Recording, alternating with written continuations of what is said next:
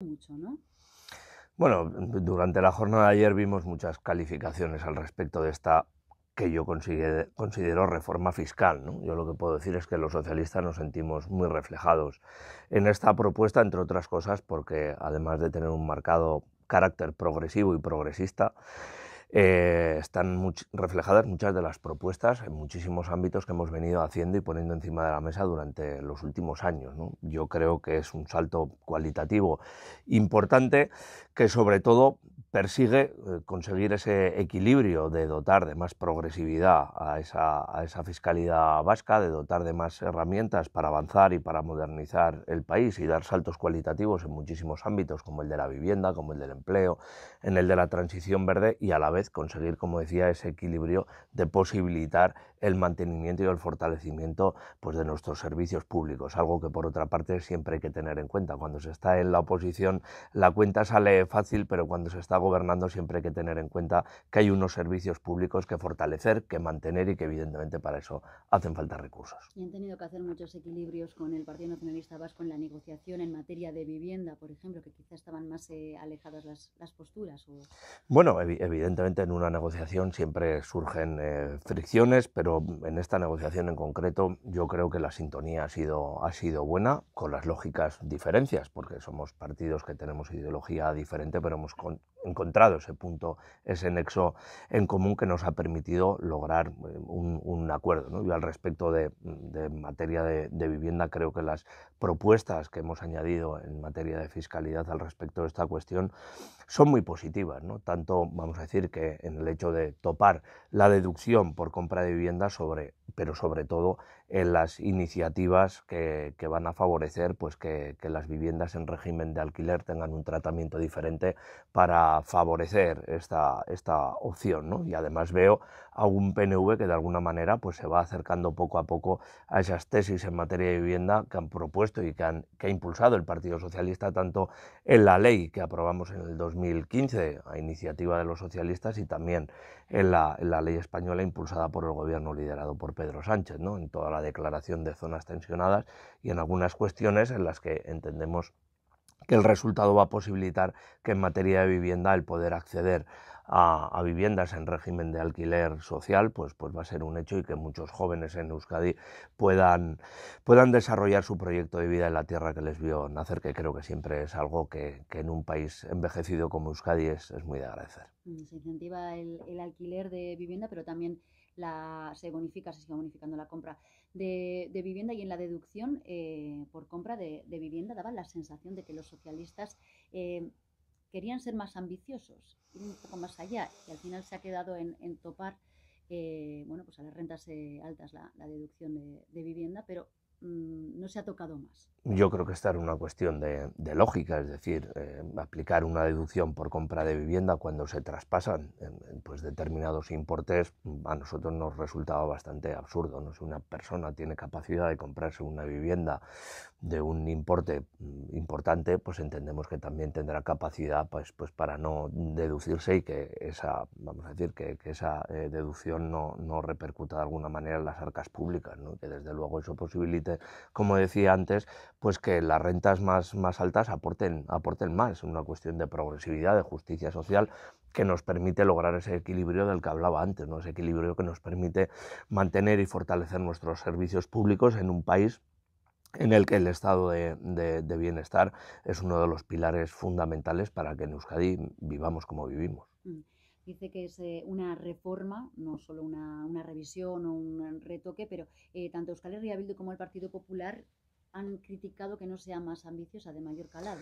Bueno, uno cuando está en la oposición pues tiene que hacer cosas de este tipo, ¿no? Yo lo que les preguntaría es si les parece bien o les parece mal que hayamos incorporado medidas que favorezcan a través de la fiscalidad eh, las políticas de, alquiler de vivienda, si les parece bien o mal que se luche contra la brecha salarial, que les ¿qué les, ¿qué les, parece? Si les parece bien o mal que se hayan incorporado medidas fiscales que favorecen la conciliación, si les parece bien o mal que se esté favoreciendo eh, fiscalmente a aquellas eh, empresas que posibiliten un empleo estable y de calidad, si les parece bien o mal las medidas fiscales que hemos incorporado eh, al respecto de nuestro modelo de, cuidados, si les parece bien o mal las medidas que hemos incorporado para favorecer la transición verde y la digitalización en nuestras empresas.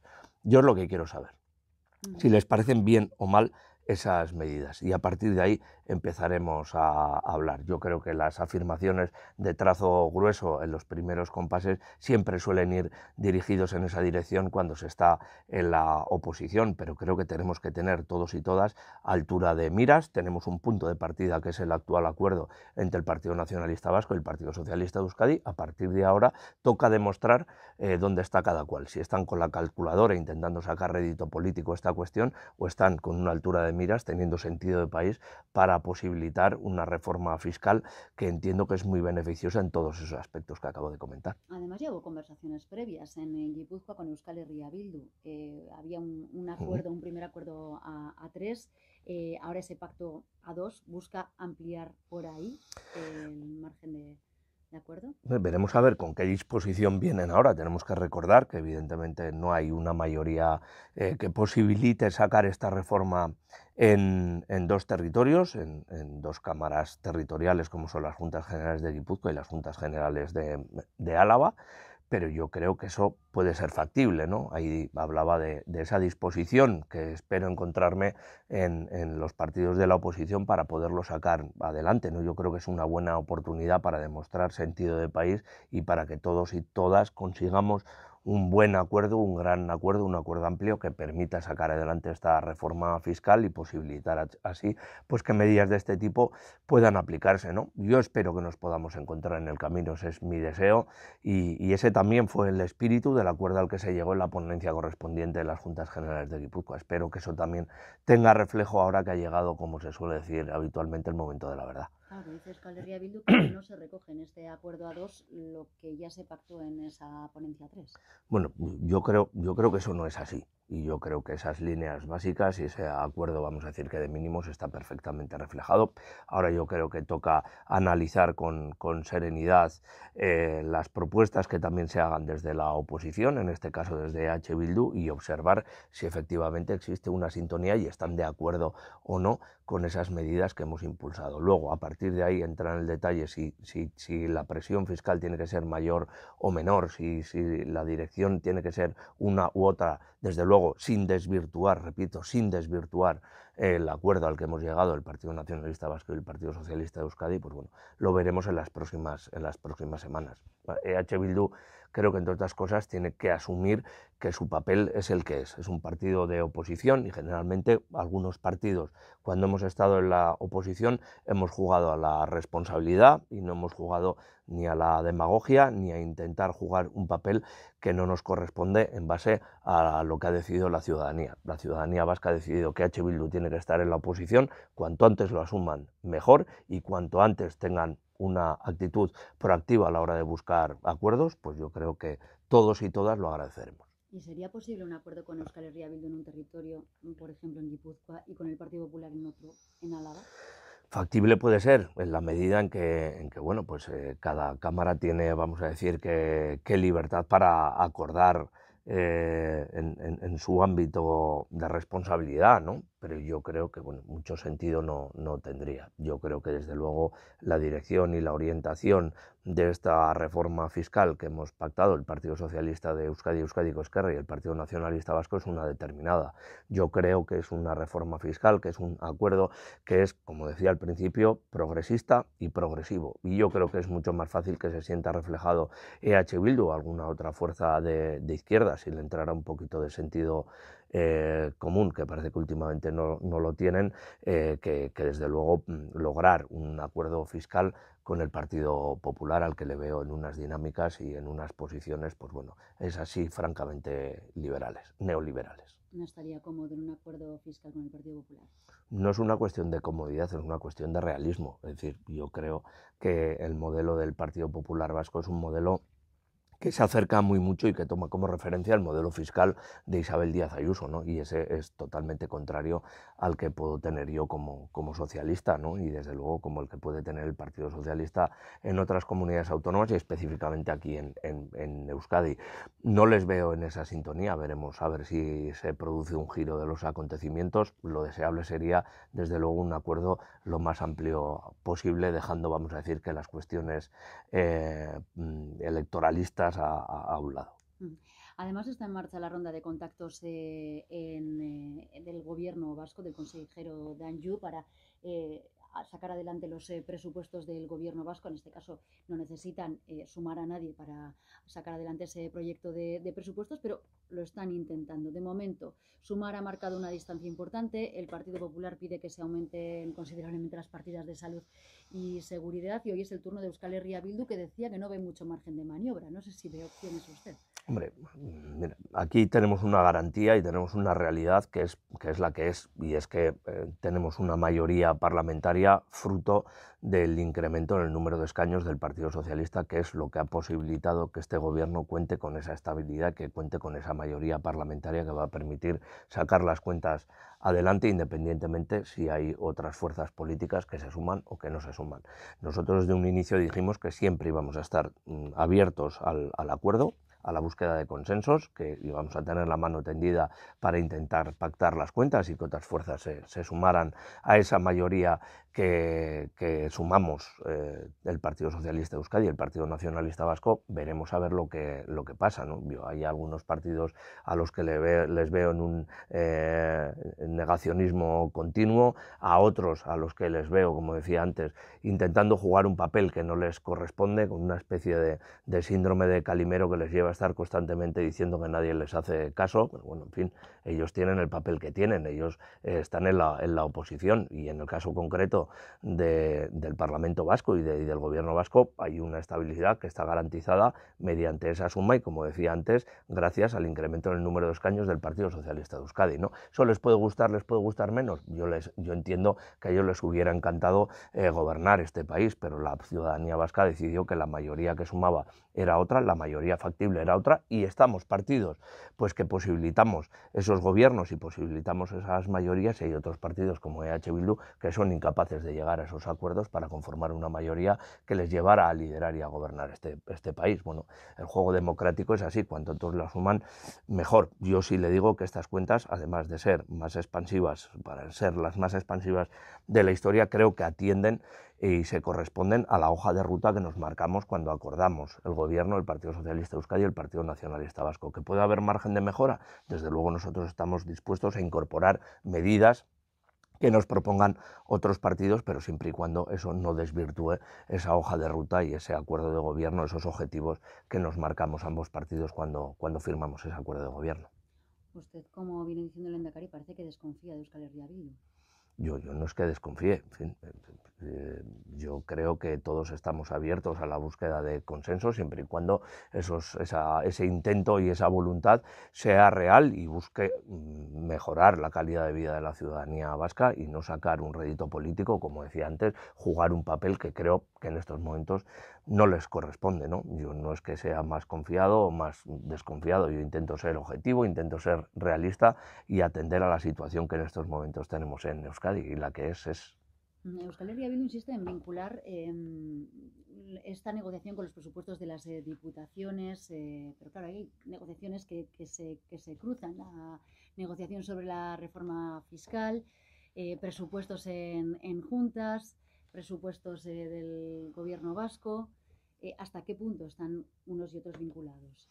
Bueno, yo creo que, cada realidad es, es diferente y cada negociación tiene que llevarse en el ámbito correspondiente.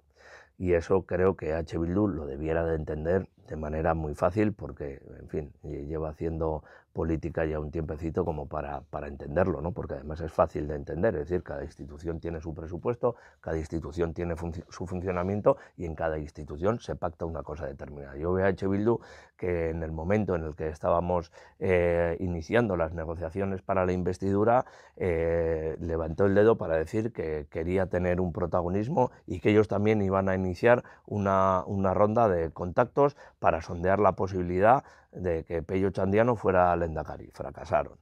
Después eh, empezaron a decir que ellos eran partidarios de un acuerdo global en materia de presupuestos en todas las instituciones, que estaban, volvieron a fracasar. Bueno, ahora vuelven con esto. ¿Qué será lo siguiente?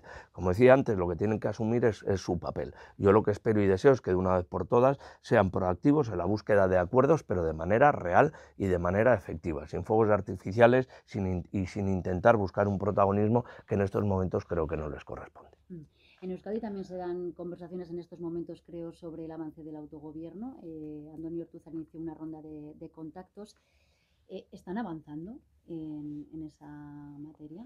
Bueno, yo al respecto de esto eh, tengo que decir que estoy a la, espera de, mantener ese encuentro con Andoni Ortuzar porque yo de momento no lo he, no lo he tenido. ¿no? Y, una vez de que lo tenga, que creo, por lo que me ha llegado ya lo ha tenido con otras fuerzas políticas, pues bueno, pues eh, yo valoraré cuál es la posición del Partido Nacionalista Vasco. Yo lo que sí le puedo decir es que la posición del Partido Socialista de Euskadi, Euskadi Esquerra es muy clara y nosotros no queremos un nuevo estatus, nosotros queremos una reforma estatutaria, un gran pacto estatutario que nos lleve a blindar todos los derechos que hemos conquistado durante los últimos 45 años y eh, vamos a decir que a construir un marco de convivencia que sea respetuoso con la pluralidad, con la diversidad que tiene este país y que haga posible que la convivencia del futuro sea una convivencia sólida, sin entrar en ningún tipo de aventuras que creo que no nos llevan a ninguna parte. A partir de ahí, dispuestos a negociar, por supuesto que sí. Creo, y, lo he dicho ya en más de una ocasión, que este es el momento precisamente de afrontar esta cuestión eh, con realismo y con responsabilidad. Creo que es el momento eh, perfecto para afrontar un gran pacto estatutario que efectivamente blinde esos derechos y nos permita eh, construir y fortalecer ese marco de convivencia desde el respeto a la pluralidad. Todo lo que se salga de ahí creo que solo nos llevará a una cosa, a la frustración y al fracaso, como otros intentos que ha habido en el, en el pasado por parte del Partido Nacionalista Vasco y de la, y de la izquierda berchale del independentismo. Creo que eso no nos lleva a ninguna parte y creo que este es el momento para afrontar esta situación y para afrontar esta oportunidad, porque yo la considero una gran oportunidad como un ejercicio de, realismo para hacer posible ese gran pacto estatutario que en un gran porcentaje eh, ya está hecho, porque cabe recordar que hace dos legislaturas logramos un gran pacto que recogía estos objetivos que yo le estoy comentando ahora y que precisamente fue el vértigo del Partido Nacionalista Vasco el que le llevó a echarse a los brazos de H. Bildu y en bascular todo este debate en un derecho a autodeterminación, en un camino hacia la independencia que llevó a fracasar una gran oportunidad que ya estaba encima de la mesa. Bueno, esperemos y deseemos que en esta legislatura aprovechemos esa oportunidad y no la llevemos al traste como, como la quisieron llevar otros hace dos legislaturas es llamativo que no se haya reunido aún con Antonio Ortuzar cuando se ha reunido con otros eh, grupos. Bueno, yo entiendo que esas reuniones se están produciendo con un orden de menor a mayor. Y afortunadamente nosotros seremos de los últimos porque somos de los que más escaños tenemos. ¿No se ve relegado como socio preferente en materia de autogobierno? No, absolutamente no. Nosotros tenemos muy buena relación, tenemos una interlocución continua y constante y en ese sentido tengo que decir que las relaciones entre el Partido Nacionalista Vasco y el Partido Socialista de Euskadi y especialmente entre Andoni Ortúzar y, yo mismo pues son excelentes como no podía ser de otra manera al margen de que en algunos momentos tengamos choques que creo que en nuestro caso siendo partidos de ideología diferente es lo natural en democracia. Mm. Eh, también llamó la atención eh, que pusiera en duda en una entrevista eh, aquí en Radio Euskadi, en Gambara, Em, la posibilidad de completar eh, el estatuto, esas eh, transferencias eh, pendientes. Yo, lo que, yo de lo que advertí fue de determinados riesgos. Yo en ningún momento dije que eso no se pudiera materializar. En algunos casos, por una cuestión operativa mm, efectiva y de sentido común, eso será así, no se podrá materializar y otras a las que le veo determinados riesgos y determinadas dificultades. Y de lo que se trata es de intentar eh, mejorar nuestro autogobierno para que podamos sacarle un mayor rendimiento, pero sin poner en riesgo algunas cosas. Y en el caso concreto de la transferencia de, puertos, específicamente, sí veo determinados riesgos. El primer riesgo que le veo es la pérdida eh, de la calificación de puertos de interés general eh, en el caso de que se produzca una transferencia. Bueno, aquí mismo le escuché decir a Héctor Esteban que, bueno, que, si pierde el de Pasaya, que no, que no pasa nada. Bueno, eso también dice muy mucho del poco interés que tiene el Partido Nacionalista Vasco en el puerto de Pasaya y que incluso eh, a ellos les gustaría que esta materia se gestionara aquí. Parece que no se acuerdan que ambos mm, presidentes de las autoridades portuarias del puerto de Bilbao y del puerto de Pasaya son designaciones directas del Partido Nacionalista Vasco. Bueno, ellos ya lo, ya lo gestionan, ¿no? Sáquenle el máximo rendimiento y después hay otro riesgo que es evidente, ¿no? Y el de asumir una una gestión eh, a la que luego le falten efectivos. Ha sido la propia Archancha la que ha dicho que de asumir de manera más o menos inmediata el puerto de Pasaya, eh, la Archancha no contaría con efectivos para poder hacer frente a esa responsabilidad que asumiríamos. ¿no? Bueno, no se trata de asumir eh, competencias por asumir competencias. Asumir competencias no es sumar un número más en el casillero, es tener la posibilidad de sacarle el máximo rendimiento a esas competencias y desde luego para eso hacen falta unas condiciones que en algunos casos concretos yo entiendo que en estos momentos no se dan y que incluso si se produjeran eh, fin, tendrían un perjuicio para el tejido económico y productivo de Euskadi. Por tanto vamos a ser responsables y vamos a aplicar en esos casos concretos eso que tanto mencionamos eh, a veces que es la cogobernanza y que en muchísimos casos como este por ejemplo eh, se ha demostrado que da buenos frutos. Así que cree que eh, es posible que el gobierno Sánchez no cumpla el compromiso adquirido de completar las transferencias eh, pendientes con el Partido Nacionalista Vasco, por esas dificultades que el, el, compromiso adquirido es avanzar y es seguir hablando, seguir negociando e intentar materializar eh, las competencias que, tenemos pendientes de transferir. Pero como decía, no se trata de transferirlas lo antes posible, sino de que esas transferencias se transfieran bien, se hagan con todas las garantías para que luego no nos pase como nos ha pasado con otras transferencias en las que luego, pues bueno, algunos no sabían muy bien qué hacer con lo que habían asumido. ¿no? Yo creo que tenemos que ser responsables y no se trata, como decía, de sumar un número más al casillero, sino de que todas las transferencias que vengan vengan con plenas garantías desde luego de que, de que eso se gestione de manera adecuada y eso no suponga, como decía, en el caso de la pérdida de la calificación de puertos de interés general, un perjuicio económico para las empresas y por tanto para la sociedad vasca.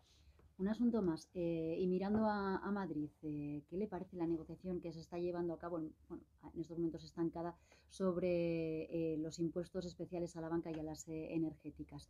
Parece que no van a poder prolongarse ninguno de, los dos porque bueno, hay intereses eh, cruzados, unos en contra del, impuesto energético, es que Reyes Escalería viendo en contra de que no se prolongue, vinculándolo al impuesto a la banca. Bueno, pues eh, sería una, una, lástima, desde luego yo soy partidario de mantener los dos y, y, así lo he expresado públicamente y creo que de manera muy, muy clara. ¿no? Yo creo que aquí tenemos que mirar por el interés general y no tanto por intereses eh, particulares. Y en el caso de Junts en estos momentos está muy claro que su posición va más en lo segundo que en lo, que lo primero. ¿no? Sería una, una lástima, pero desgraciadamente el fraccionamiento que tenemos en el Congreso de los Diputados pues, nos lleva a negociaciones a muchas bandas que en ocasiones pues, hacen que se produzcan situaciones de, este tipo. Mm, pues